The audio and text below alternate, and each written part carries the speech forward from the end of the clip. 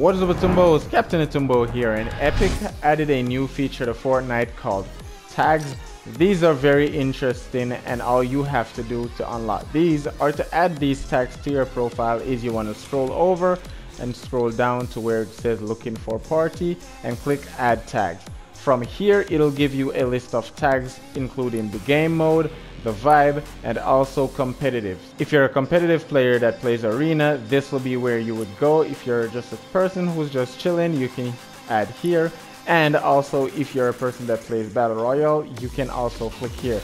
Now, I'm a zero build player, so I will actually have zero build duos, zero build trios, and of course, zero build squads. Now what it'll do, it'll shuffle and search in my party for other persons who have these tags added as well so I can easily find persons that I can party with.